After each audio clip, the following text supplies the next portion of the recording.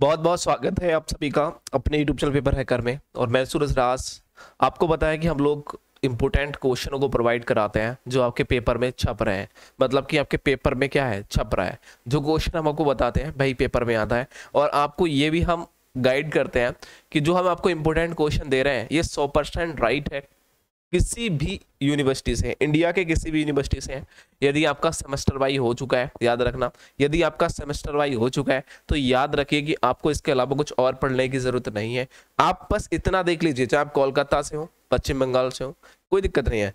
आप चाहे पश्चिम बंगाल का सिलेबस पूरा सेम टू सेम है, मध्य प्रदेश का पूरा सेम टू सेम है, जो सिलेबस सब, जो सेमेस्टर वाइज स्टूडेंट है यूके उत्तराखंड का सेम है यूपी का, बिहार का बिल्कुल सेम है, जो सेमेस्टर वाइज चल रहा है, जो मैं आपको बता रहा हूँ। ठीक है? बीएससी सेकंड सेमेस्टर समझ लो मेरी बात को। यही आ रहा है पेपर में। बाकी कुछ नहीं आएगा। बाहर से आने की ज़रूरत ही नहीं है। बाहर कुछ याद करने की ज़रूरत ही नहीं है आपको। समझ लो मेरी बात को ध्यान से। अब देखो क्या है। 2022 जी हाँ 2022 में आपको 85 परसेंट प्लस लाना है। मतलब कि आप 2022 के क्या बनने वाले हो? टॉपर के लिस्ट में टॉप टेन में आने वाले हो। टॉप टेन में, जी हाँ। टॉप टेन की यदि आप समझ रहे ना टॉप टेन में आना है तो संघर्ष तो करना पड़ेगा। यदि मैं आपसे बोल रहा हूँ एग्ज़ाम से दो दिन पहले कुछ इंपोर्टेंट क्वेश्चन प्रोवाइड कराता हूँ, जो पेपर में आ रहे होते हैं तो आप मुझे बता दीजिए दिया करो कि, सर, मेरी स्कीम ये आ गई है। आप मुझे स्कीम भेजो कि, सर, मेरी यूनिवर्सिटी ये है, स्कीम ये रही, मैंने आपकी व्हाट्सएप पर सेंड कर दी है, सर आप मुझे बताना, मेरा कल पेपर है या फिर परसों पेपर है, आप मेरे स्क्रीम के अनुसार जो भी पेपर होता रहे, उसको पहले से पहले अपलोड करते रहे। मैं दो दिन पहले अपलोड करता रहूँगा। बस आप मुझे अपडेट तो दीजिए, ठीक है ना? बहुत सारी यूनिवर्सिटियाँ हैं ठीक है? उनकी जानकारी मैं इसमें प्रेजेंट में नहीं रख पा रहा हूँ, क्योंकि मैं एक्स्ट्रा थोड़ा सा काम कर रहा हूँ इधर उधर ज़्यादा मुझे काम बढ़ा हुआ है। तो इस वजह से मैं क्या यूनिवर्सिटी में क्या चल रहा है, वो मैं मैं अभी नहीं देख पा रहा हूँ। इसलिए आप मुझे अवगत कराइए, ठीक है? और जब आप अवगत कराएँगे तो उसके सटीक वीडियोस आप तक पहुँच जाएँगी उनके क्वेश्चनों के। अब इनके नोट्स हम बात करते हैं, सर ने, आप ये सोचते हैं कि सर ने ये क्वेश्चन तो दे दिए। अब इनके आंसर कहाँ है? मैं कहाँ से पढ़ू इनको? ठीक है, मान लीजिए मेरी कॉपी में मिल रहा है, बिल्कुल सेम टू सेम क्वेश्चन मिल रहा है जो सर ने बताए यदि मिल रहे हैं तो आपको कुछ नहीं करना है। चुपचाप हमारे नोट्स को डाउनलोड कर लेना है। हमारे नोट्स को डाउनलोड कर लेना है। जी हाँ नोट्स को डाउनलोड करने के लिए सबसे पहले हमारा एक वेबसाइट है जिसका नाम है पेपर इस तरीके से आप सर्च कर सकते हैं पेपर हैकर ठीक है डॉट इन पेपर हैकर आप डॉट इन लगाएँगे।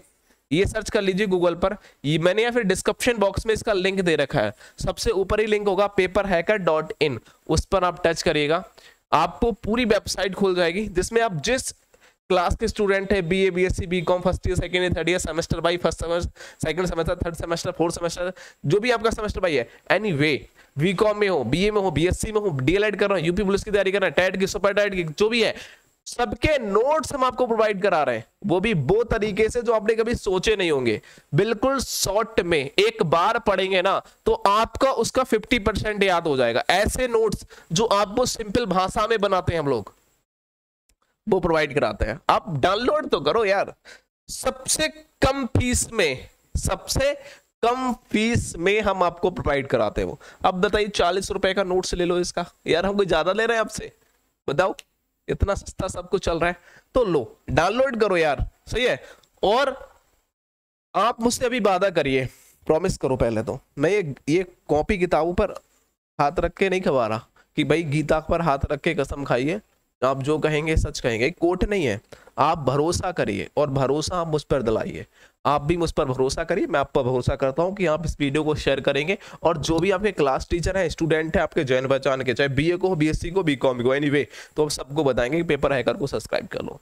चलो, अब ओपन करो। ओपन करो फटाफट आपके पास बुक नोट्स कैसे पर जो भी है ओपन करो उसको। और मैं आपको बता रहा हूँ क्या क्या क्वेश्चन पर टिक लगाना है। चलो, पहला क्वेश्चन आपके सामने, पहला क्वेश्चन आपके सामने है। पहला क्वेश्चन आपके सामने है। जी हाँ पहला क्वेश्चन पर लगाएँगे। कार्बोहाइड्रेट्स का क्लासिफिकेशन क्लासिफिकेशन ऑफ़ कार्बोहाइड्रेट्स मतलब कार्बोहाइड्रेट्स का वर्गीकरण करिए। अब वर्गीकरण जब करेंगे तो ये तीन भागों में डिवाइड किया गया है। किसको? कार्बोहाइड्रेट को तीन भागों में डिवाइड किया गया है। एक होता है मोनोसेक्राइड दूसरा होता है ऑलिसेक्राइड तीसरा होता है पॉलीसेक्राइड्स इन तीनों सेक्राइड्सों को कार्बोहाइड्रेट्स के तीन पार्ट है, तीन भाग है, इन तीनों भागों को अच्छी तरीके से पढ़ लेना। पक्का, पूरा क्वेश्चन लॉन्ग में फंसता है। आपको छात्र कहते हैं, सर लॉन्ग में होगा या शॉर्ट में? आपके बुक नोट्स गैस पेपर में यदि लॉन्ग में है तो लॉन्ग छाप लो शॉर्ट में तो शॉर्ट छाप लो। यदि आप चाहते हैं कि मुझे लॉन्ग और शॉर्ट में समझ में नहीं आ रहा है तो आप हमारे नोट्स को डाउनलोड कर लो। हमने पहले इसको लॉन्ग में रखा है और कुछ पार्ट इसमें शॉर्ट में भी रखे हैं, ठीक है? तो आप जैसा चाहे, वैसा पढ़ सकते हैं, वो आपके ऊपर डिपेंड करता है ओके चलो, उसके बाद हम नीचे की बात करेंगे। एक दूसरा क्वेश्चन है, क्या ये? लिपिड्स तो यहाँ बोला गया क्लासिफिकेशन सिग्निफिकेशन ऑफ़ लिपिड्स मतलब क्या है? महत्व बताना है, और साथ ही साथ उनका वर्गीकरण बताना है। लिपिड का वर्गीकरण और महत्व के गुण बताइए। प्रॉपर्टीज़ भी यहाँ पूछी गई है, किसकी? लिपिड्स की। तो लिपिड्स के बारे में ये क्वेश्चन यदि तीनों एक साथ पूछता है लिपिड्स का वर्गीकरण करिए। महत्व बताइए, गुण बताइए तो ये लॉन्ग बनेगा। और यही आपसे पूछ रहे लिपिड्स के गुण क्या होते हैं? तो ये क्वेश्चन शॉर्ट में बनेगा। क्या दिक्कत है यार? बताओ। समझने में फेर होती है हम लोग। यार, अब अब हाई स्कूल इंटर के लेवल से नहीं हम लोग, थोड़े ऊपर आ चुके हैं, थोड़े से ऊपर। समझ रहे ना? तो वो तरीके से सोचना होगा आपको। चलो, उसके बाद क्या करना होगा? देखो नेक्स्ट क्वेश्चन में टिक लगाओ। प्रोटीन के बारे में पढ़ के जाना है। प्रोटीन क्या होता है? अमीनो अम्ल के प्रकार। अमीनो अम्ल किसे कहते हैं? पहले तो ये पता होना चाहिए। और अमीनो अम्ल के कितने प्रकार होते हैं? कितने टाइप होते हैं? टाइप लिख लेना बेटा, लो। टाइप लिख लो टाइप लिख लो, खत्म। या सिग्निफिकेशन कर देना महत्व को। चलो, और प्रोटीन के बारे में। अब दूसरा क्वेश्चन टच करो next question next question book पर नोट करो, या फिर आप अपने गैस पेपर पर टुक लगा लो, या फिर हमारे नोट्स को डाउनलोड कर लो तो ये वीडियो देखने की ज़रूरत नहीं पड़ेगी आपको।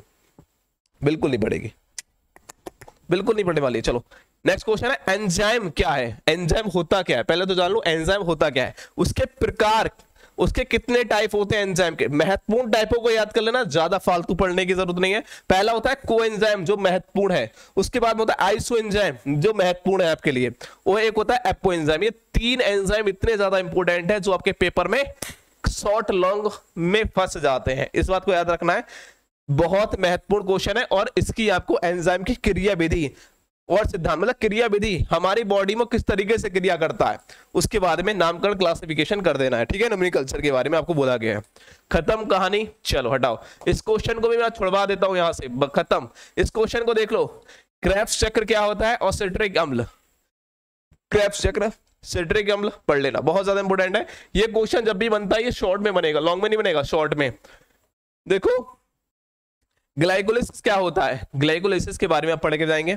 ये आपको पूरा वर्गीकरण क्लासिफिकेशन के बारे में पूछेगा तो ये क्वेश्चन लॉन्ग में बनेगा। वरना ये सिंपल पूछ रहे थे, ग्लाइकोलिसिस होता क्या है? तो आप ये क्वेश्चन शॉर्ट बनेगा। आपको डरने की ज़रूरत नहीं है। शॉर्ट लॉन्ग होता क्या है? भूल जाइए।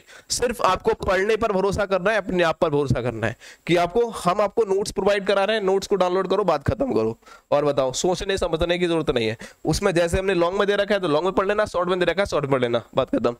इसको देखो एटीपी एटीपी का निर्माण कैसे होता है? फॉर्मेशन ऑफ़ एटीपी हमारी बॉडी में एटीपी का निर्माण कैसे होता है? ये महत्वपूर्ण क्वेश्चन है। इसको महत्वपूर्ण में लगाना।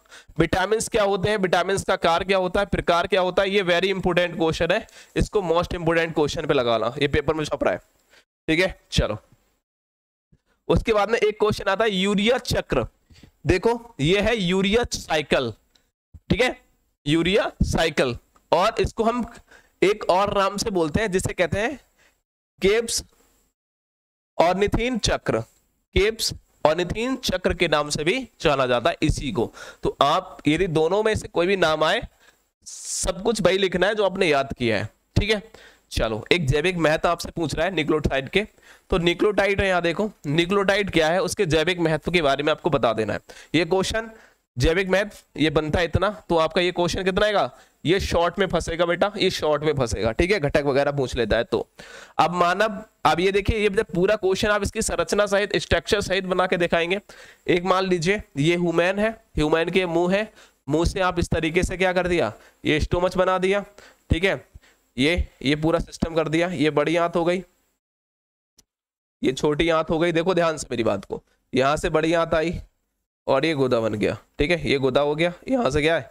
मल त्याग दिया। समझ रहे ना? ये हमारा क्या है? ये हमारा क्या बन गया बेटा? ये हमारा क्या बन गया? ये हमारा बन गया डाइजेशन सिस्टम। ठीक है? किसका? हुमैन का। हमसे भाई बोल रहा है कि देखो, मनुष्य के पाचन तंत्र की संरचना। आप क्या कहेंगे? ये माउथ है। ठीक है? ये स्टोमच है। ये स्मॉल इंटेस्टिन है। ये लॉन्ग लॉन्ग में लंबी, जिसे कह सकते हैं, बड़ी आंत कह सकते हैं। और ये हमारा ये सब कुछ आपको यहाँ क्लियर कर देना है। ये गुदा है, इसको आपको सब कुछ बता देना है, ठीक है? क्लियर हो जाएगा यहाँ से यहाँ तक। इसके बारे में सब कुछ एक्सप्लेन कर देना है। वही यहाँ डालना होगा, बाकी एक्स्ट्रा कुछ नहीं करना है। नेक्स्ट क्वेश्चन है ऑक्सीजन अब देखो ये क्वेश्चन देखिए यहाँ से। ये क्वेश्चन बनाया है, देखियो ऑक्सीजन पृथककरण। इसको जो ये ये जो आप देख रहे हैं ना, इसको ऑक्सीजन पृथककरण के बारे में। ये हमसे पूछा गया है, जब हमने बॉडी में, हमने क्या कर दिया? ऑक्सीजन का परिवहन, ये पूछेगा रुधिर में। ये हमारा ब्लड सेल्स है मतलब कि ये कोशिका मान सकते हैं? या फिर ये कोशिका ये कोशिका के अंदर ये मतलब कारण क्या है? कि इसको हम क्या मान सकते हैं? एक, इसको मान लीजिए, ये हमारी नसें हैं, नसें। ठीक है? अब इसमें ब्लड बह रहा है। इसमें ऑक्सीजन की मात्रा भी होती है, आपको पता है। होती है क्लियर? हमने क्या हुआ? जो हमारे क्या लेते हैं? ये फेफड़े ले लो। ठीक है? ये फेफड़े हैं। समझ रहे हैं ना? ये फेफड़े हैं। ये माउथ ले लीजिए। ठीक है? ये माउथ है। और ये फेफड़े हैं। तो उन्होंने क्या किया? अब इस तरीके से आपको एक इमेज बनानी होगी, बेहतर तरीके से, जो आपको हमारे बुक में मिल जाएगी, कोई इशू नहीं है।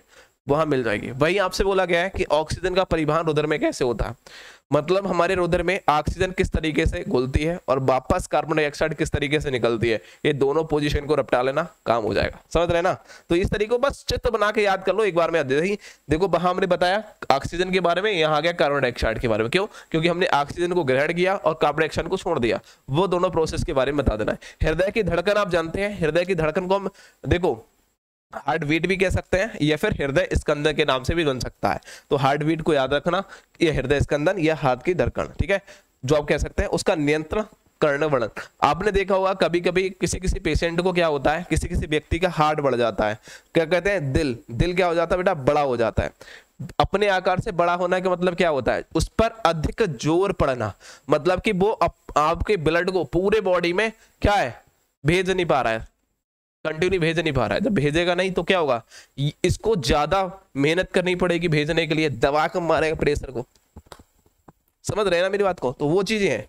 तो ये अधिक फूल जाता है तो ये पोजीशन देखने को मिलती है। तो इसमें भर्ती को पेशेंट को तुरंत भर्ती कराना चाहिए। ज़्यादा दिक्कत आ सकती है, कभी भी हार्ट अटैक वगैरह आ सकता है। ओके समझ रहे मेरी बात को? तो वो चीज़ सबको देखना पड़ता है। इसके बाद में देखो नेक्स्ट क्वेश्चन यहाँ देखिए, यहाँ क्वेश्चन बोला गया है, एक रक्त एक संयोजी उतक है।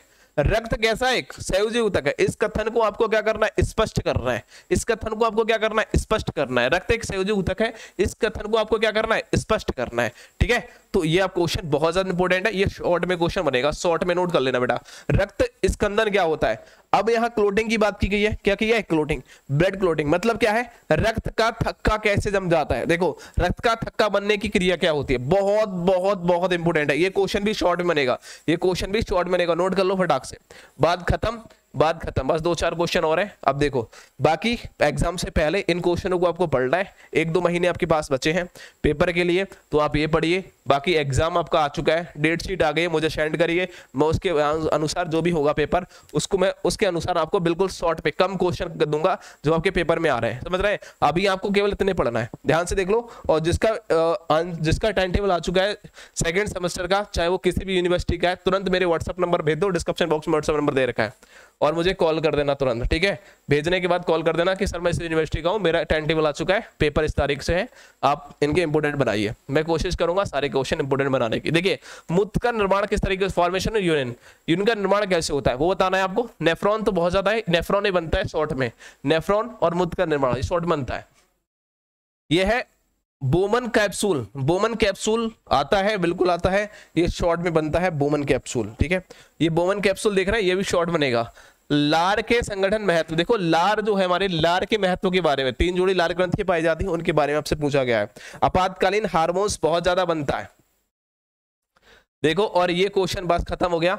एक है आपातकालीन हार्मोन्स, इसके बारे में पढ़ लेना, बहुत शॉर्ट में हमने दे रखा है, शॉर्ट बनेगा। पीयूष ग्रंथि को मास्टर ग्रंथि भी बोला जाता है, जिसे हम प्यूट्रिक ग्लैंड बोलते हैं इसको, ठीक है? ये छोटी सी होती है, मस्तक में होती है। लेगर हॉन्स की दुपिकाएँ ये अग्न्याशय से निकलती हैं पिंगरास से निकलती हैं, और ये इंसुलिन को इंसुलिन का श्रावण करती हैं लेंगर हॉन्स की दुपिकाएँ इसके बारे में आपको देख लेना है, ठीक है? उसके बाद में कार्डिक चक्र, ये कार्डिक चक्र को देख लेना है, कार्डिक साइकिल क्या होता है, और ये नर्वेन को छोड़ दीजिए, इसको हटा दीजिए। पेशी उतक क्या है? पेशी उतक के प्रकार, जिसे हम जो मस्कुलर टिश्यू बोलते हैं, ठीक है? तो मसल टिश्यू बोलते हैं, इसको हम मस्कुलर टिश्यू बोलते हैं, इसको पेशी उतक जिसे बोला जाता है, और इसके प्रकार के बारे में आप देख लेना, ठीक है? बस इतने आपको याद करके जाना है, जो है 2022 में आने वाले क्वेश्चन, अभी आप इतना पढ़िए, क्योंकि आपको थोड़ी सी मेहनत करने की ज़रूरत है, काफ़ी टाइम है आपके एग्ज़ाम के लिए तो आप इतना पढ़िए, उसके बाद में एक दो दिन जब बचते हैं हम तो आप जो मैं बताऊँगा वही पढ़ना है। इन क्वेश्चन में से ही बताऊँगा, जो आपके पेपर में छपता होगा। तो अभी चैनल को सब्सक्राइब करो और मुझे अपने टाइम टेबल जो भी आ गई जिस यूनिवर्सिटी की, वो मुझे फटाफट सेंड कर दो, किसी भी यूनिवर्सिटी का है एनी इंडिया के किसी भी यूनिवर्सिटी का है। सबके लिए महत्वपूर्ण क्वेश्चन है सेमेस्टर सबका एक जैसा है, यदि सिलेबस मिल रहा है तो आप ज़रूर सेंड कर दीजिए मुझे, उसके आधार पर मैं आपको इंपॉर्टेंट क्वेश्चन बना दूँगा और आपको अपलोड कर दूँगा। बाकी मिलेंगे नेक्स्ट में, तब तक लिए बाय बाय